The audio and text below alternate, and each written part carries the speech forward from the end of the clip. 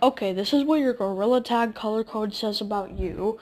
Okay, first, purple. If your color code is purple, you are cracked at the game. It just seems like you have mods or something.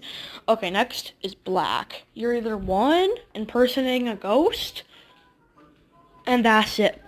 Okay, number three is green, and you're usually a chill person sometimes, but not sometimes not really. Yeah, if your color code is yellow, you don't exist. Stop lying. I know you. Do I know you're just an alien. If your color code is orange, you exist even less. Y yep.